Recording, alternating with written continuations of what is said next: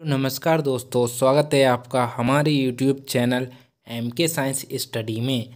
आज हम लेकर आ गए हैं आपके लिए क्लास ट्वेल्थ जीव विज्ञान का बहुत ही इम्पोर्टेंट प्रश्न।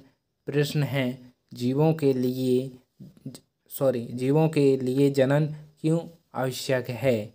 मतलब ये जीवों के लिए जन्म कर, करते हैं ये क्यों आवश्यक है? आपको इसका उत्तर बताना है। आ, बहुत ही सिंपल है। जो कि हम बताते हैं, जनन के द्वारा ही जीवों की निरंतरता बनी रहती है।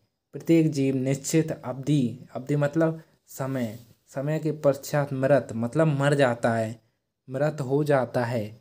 किंतु इसके पूर्व जनन क्रिया द्वारा नए संतति मतलब इसके नए, नई नए बच्चे का जन्म होता है। संतति मतलब न्यू जन्म, बच्चा का निर्माण कर देता है। यही कारण है कि हज़ारों वर्षों से पृथ्वी पर पादपों एवं पशु पक्षियों की, विभिन्न जातियों की विशाल विशाल मतलब बड़ी संख्या बनी हुई है।